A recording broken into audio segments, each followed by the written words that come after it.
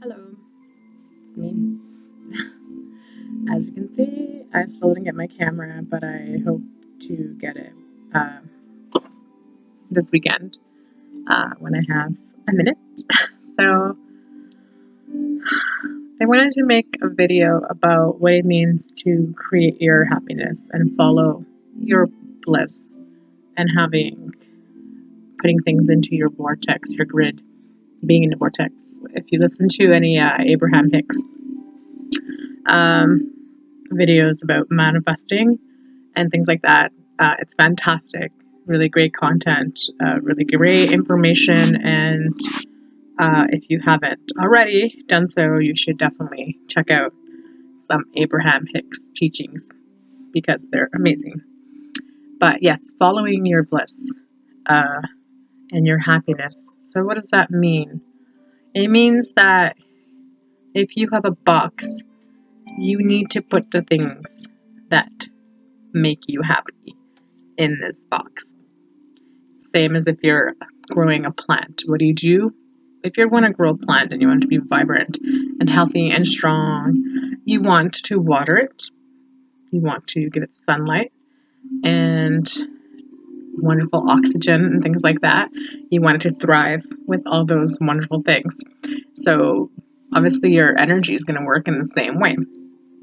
So, you need to follow your bliss in terms of things that make you happy. So, what does that mean exactly? Because sometimes people do things that they think make them happy and aren't really actually making them happy.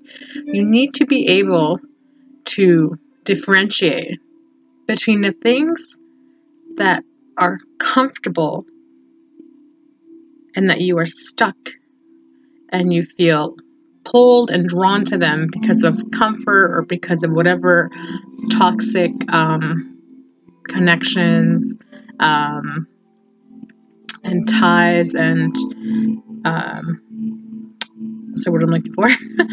Um, the patterns and stuff, your previous patterns of what you tend to be drawn towards, you have to be able to discern between that and things that actually make you happy and help you to grow.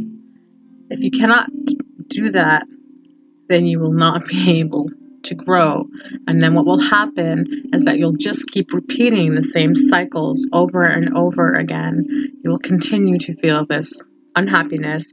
You will continue to have all these different um, emotions tied to that that are not negative. You might have small moments of happiness or surface happiness, but you won't have those deep happiness feelings. You will feel stuck. You will feel like you're not moving forward. You will feel like you don't have the things that you want in your life. Um, so you need to figure that out for yourself. What's going to happen then if you stay stuck in that pattern is that things will eventually keep getting worse for you or bad things will keep happening to try to like shake you out of that to shake you out of that pattern or that path you're taking. Something's going to happen. Your higher self is going to do things. The universe whatever you want to refer as this card is going to do things to you to make you see that you are not following your bliss at all and that you're in fact just um, uh, you're not watering your plant. You're just literally shoving it in a corner in a cupboard and not caring about the plant which is yourself. Yourself is a plant. So what does that mean to follow your bliss and follow your happiness? So putting things in your box that make you happy.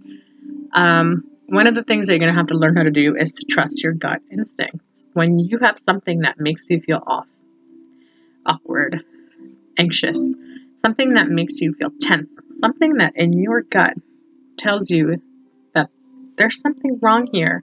I don't feel right about this. I don't feel comfortable with this.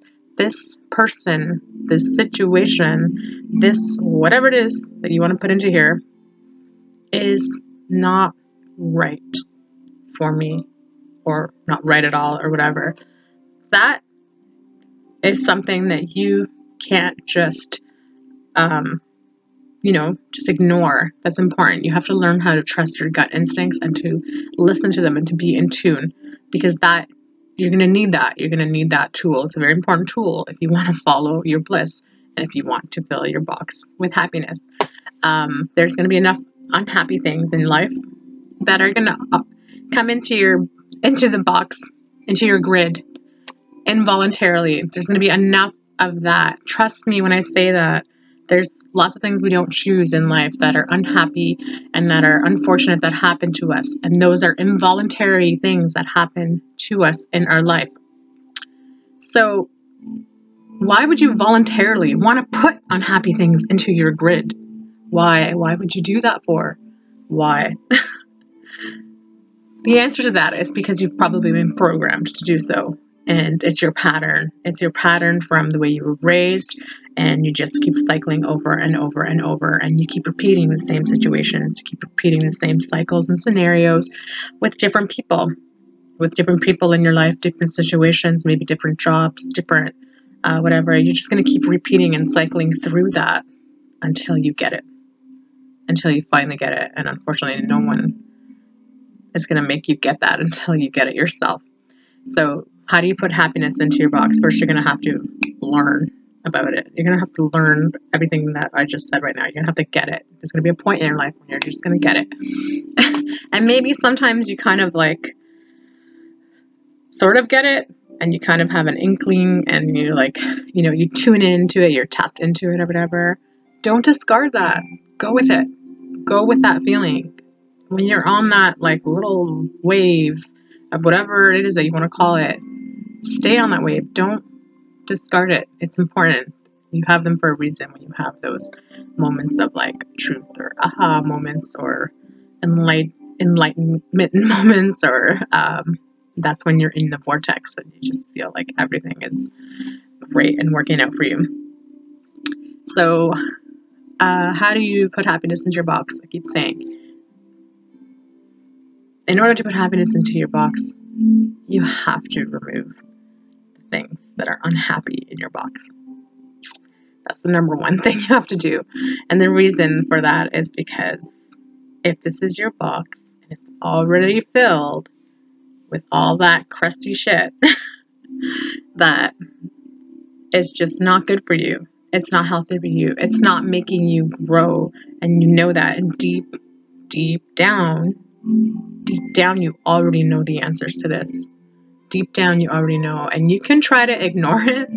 You can try to like argue with it or deny it as much as you want but you cannot fool your higher self or yourself. You can't fool anyone because i don't understand why you just want to prolong it just bite the bullet and ditch it ditch those unhappy things in your box. You have to remove what's in the box. To make room for happiness in the box, to take out the crap that's already in there.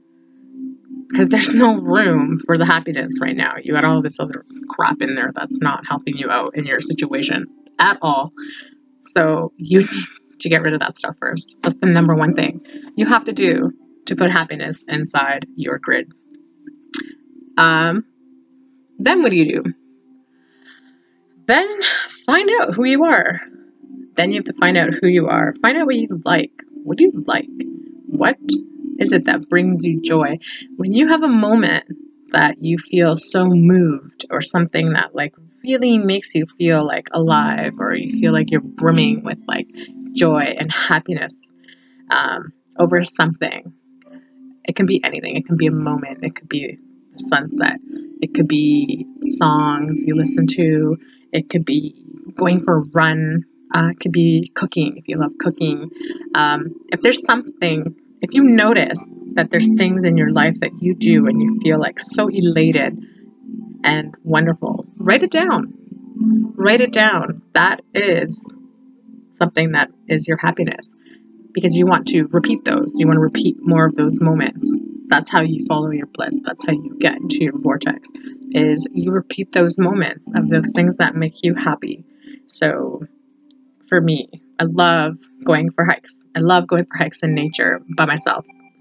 I mean, it's just so invigorating and makes me feel so wonderful. And obviously, being in nature is so grounding, like instantly. So um, that's a really wonderful thing that I can put into my box.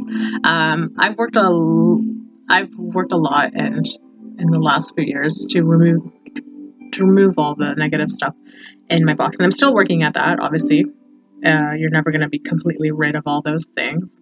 Um, it's going to be an ongoing process. But the more you get rid of those things, the more space you have to invite the happy things in there. And like I said, if you follow your bliss, you you find those moments that you you that make you happy and just repeat them. So if you love, if you love um, drawing, then draw. If you love riding your bike, ride your bike. Repeat those moments. If it's like if you just don't know, then try different things. Try different things and just keep track of like the things when you're in that